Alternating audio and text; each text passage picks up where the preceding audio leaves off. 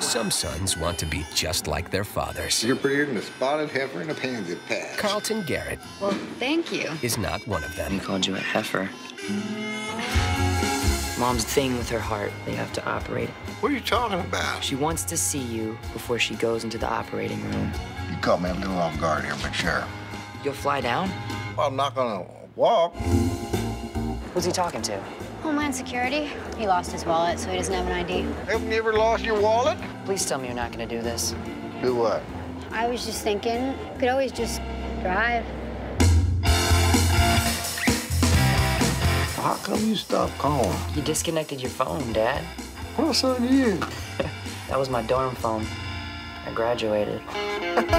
this is his thing, you know? He commits to something, and then the idea of commitment totally freaks him out. If life is a journey, Hey! Where the hell are you going? I don't owe you anything. I don't want anything from you. these three have a long way to go. You gonna marry her? What, Lucy? We're just friends.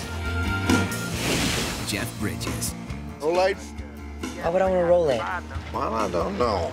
Maybe for relief. Justin Timberlake. Hey, Dad. Move your I foot. can't! You got it pinned! Sometimes the best part of a trip You mustn't ever ignore the ride. is losing your baggage. I don't care what they say about you. You're a good man. The open road. You all right, Mr. Garrett? My son bashed my head into a towel rack, but I'm fine.